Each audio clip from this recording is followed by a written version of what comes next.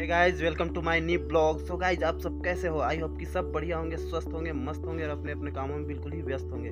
तो गाइस आज हम जानेंगे ऐसे फल के बारे में जो कि सभी के आँगन में प्राय पाया जाता है। शहर हो या गाँव हो? जी हाँ दोस्तों, मैं बात कर रहा हूँ पपीते की, जो कि सभी के आँगन में पेड़ उसका रहता ही रहता है। तो आज जानेंगे हम उसके फ़ायदे, उसके कितने फ़ायदे हैं सब कुछ मैं आपको इस वीडियो में बताऊँगा। उससे पहले आप चैनल पे नए तो सब्सक्राइब कर दें और वीडियो अच्छा लगे तो लाइक कर दें। तो चलिए चलते हैं वीडियो में। आजकल हम अपनी भाग दौड़ भरी ज़िंदगी में अपने सेहत का ख्याल रखना भूल जाते हैं, परंतु हमें अपने सेहत का रख रखाव में ध्यान रखना चाहिए। हमें अपने खाने में कुछ ऐसा खाना भी खाना चाहिए जिससे हम स्वस्थ रहें और बीमारियों से दूर रहें।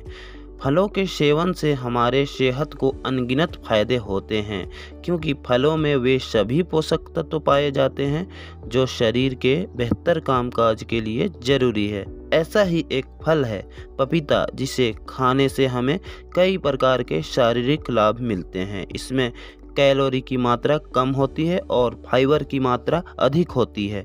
विशेषज्ञों के अनुसार इसे खाने का सही समय सुबह खाली पेट खाना है। पपीता में फाइबर की मात्रा अधिक होने के कारण यह हमें वज़न कम करने के साथ साथ कोलेस्ट्रॉल को कम करने में भी सहायक होती है। पपीता में विटामिन ए, सी और के का भंडार है। ये शरीर से विषाक्त पदार्थ को निकालकर रोग प्रतिरोधक क्षमता को बढ़ाने में मदद करता है और बीमारियों और अन्य संक्रमण से दूर रखता है। यदि आप अपना वज़न कम करना चाहते हैं तो यह आपके लिए बेहतर विकल्प है। आप प्रतिदिन सुबह उठकर खाली पेट पपीता अवश्य खाएँ। इसमें फाइबर से भरपूर और कैलोरी में कम होने के कारण यह आपके पेट को फुल रखेगा।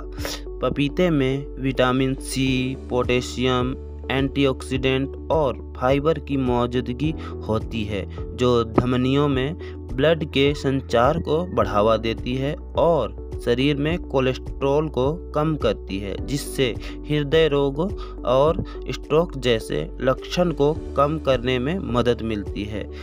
पपीते में दर्द नाशक एक तत्व पाया जाता है, जिसे पैपिन एंजाइम कहते हैं। इसे प्राकृतिक दर्दनाशक भी कहा जाता है। यह हमारे शरीर से सूजन को भी कम करता है। इसमें कई तरह के विटामिन होने के कारण हमारे आँखों के लिए भी यह काफ़ी लाभदायक है। इसके सेवन से त्वचा को फ़ायदा भी होता है। इसमें विटामिन सी होने के कारण इसमें बीटा कैरोटीन एवं लाइकोपिन जैसे कैरोटीन शामिल हैं, जो हमारे त्वचा में चमक लाता है।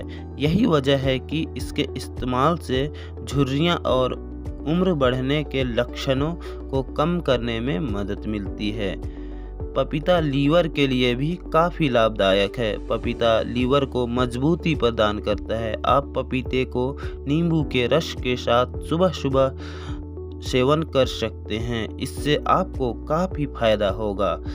कैंसर से बचाव के लिए भी पपीते का सेवन करना फ़ायदेमंद रहता है। इसमें कैंसर के इलाज में प्रयुक्त होने वाले तत्व पाए जाते हैं, जो कैंसर के इलाज और बचाव में कारगर हो सकते हैं। तो आई होप कि आप सबको यह वीडियो अच्छा लगा होगा। तो इसी तरह के वीडियो के लिए चैनल को सब्सक्राइब करना ना भूलें। तो मिलते हैं एक और नई जानकारी के साथ नेक्स्ट वीडियो में। तब तक के लिए अपना ख्याल रखें, स्वस्थ रहें। Bye bye. जय हिंद, जय भारत।